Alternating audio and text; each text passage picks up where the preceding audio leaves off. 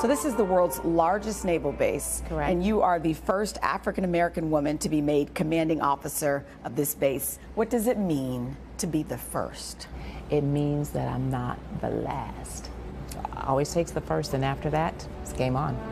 Game on is right. As commanding officer of Naval Station Norfolk, Captain Janet Days manages nearly every aspect of the base, home to the U.S. Atlantic Fleet with over 56,000 military personnel, 63 ships and submarines, 18 squadrons, and an average of 1,150 ship movements per year.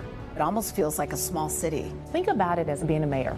Everything from managing the infrastructure, the supply, the utilities, all the support services, not to mention the operational component and the personnel that come to the space. How'd that go? That went well. Did it well? So one of the people who inspired you to pursue a career in the military is your dad. Absolutely. As a little girl growing up, and your dad's an army man, I saw how people responded to him. And so my dad had a huge influence on me joining the military. Raised by a single father, when he was deployed to Vietnam, Captain Days and her siblings were temporarily placed in foster care until he returned. And you know, you realize, and even for me as a parent, the love that he had Oh, for you without a guys, doubt. Oh, and the a doubt. sacrifice that it took. And being in the Army was a means and a way for him to provide for us. All right, thank you.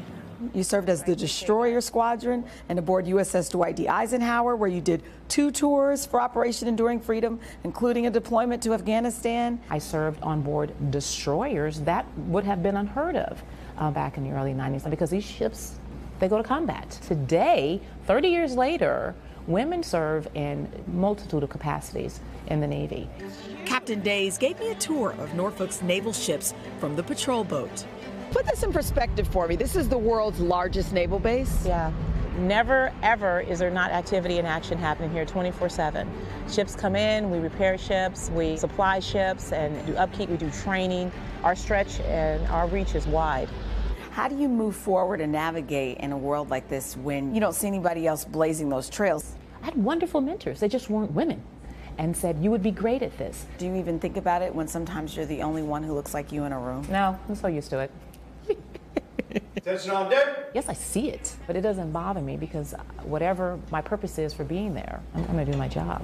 Her impressive resume includes being the commanding officer of the USS McFaul, a warship, and says there were challenges along the way. You've had moments where people would question and say, you know, who's in charge here? And you say, I am. I did have an instance where the pilot boarded the ship, went over to my executive officer and said, Hey, Captain, are we, we ready to get underway? And I heard that and I said, We absolutely are. We're ready to get underway. Let's do it. He turned beet red. Don't believe it was intentional, but I think it's just the norm. Now, over a month into the new job, Captain Days is still getting used to the attention and says young African American sailors often ask to shake her hand. They want to shake your hand and they say you're super proud of you. And it's taken a little bit for that to kind of sink in. And women, women of all hues, will come up and shake your hand and they hold your hand and they don't let your hand go. I want to make my family and make those proud. And also just let ladies know that you can do it. Oh, ladies, you, You can do it! We are so pleased to have Captain with us here on the plaza. What an honor it is for us to be sitting with you. Sheinelle, what a great interview you have with her. Will you just put your finger on the moment when you knew that your life was about to change? You were about to be in charge and at the helm. No, it was absolutely amazing. I have a fantastic team at Naval Station Norfolk, and you don't just get there overnight. Yeah. You know, it's a path that you take as you go through various tours. You have advocates, um, people that are rooting for you, and, and the amazing team that works with you. It's absolutely a team sport. Um, but taking command of Naval Station Norfolk was probably the epitome of my career, aside from commanding a warship. I wanted to ask you about that because, I mean, you truly have risen through the ranks in every sense of it. But commanding a warship, we were just talking, you're saying, in a lot of ways, that is the highlight, the pinnacle. No, absolutely, absolutely. The Navy puts an enormous amount of um, just the responsibility on you, but trust that not only are you going to execute the mission, but you're going to bring those sailors home and you're going to take care of them. And that right there means absolutely everything to me and commanders that are afloat, commanders that are in squadrons, commanders that are on submarines. Um, the nation's um, children are a responsibility. Ensuring we can go out and accomplish that mission and take care of them, it is absolutely um, it's something I'll never forget. It's amazing. On that note, there are so many young girls, beautiful young girls, and women here in our plaza, and women, no doubt, watching at home. What advice do you have for someone who may be in a in a field that's predominantly men, but they still want to break barriers and trailblaze? Absolutely. Um, first of all, always sit on the front row. Mm-hmm. Don't sit in the back row. Have your questions. Get comfortable being uncomfortable mm-hmm. because oftentimes you're going to be uncomfortable. If that is your passion, stick with it. Have a voice. Be bold and don't stop. Wow, you know, I was curious about your leadership style. Some people lead from the front of the boat because they want everyone to see them. Sure. Some people stay in the back and sort of watch mm. what's going on.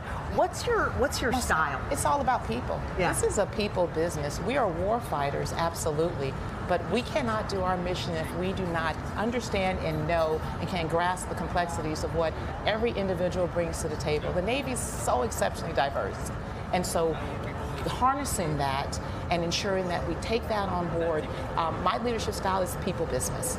Understanding my team, working through them, the yeah. tools that the Navy provides to me to be able to do that for them so that they can go away from home and be deployed for weeks and months on end. And, and their families can know that we've taken care of them mm. and that we're going to bring them back safely. Oh. Captain Days, wherever you're leading, we're following. We're following. We are. All right, sign up. sign up. Thank you so much. Absolutely. Thank Absolutely. you, Sheinelle. That was great. That was awesome. Great.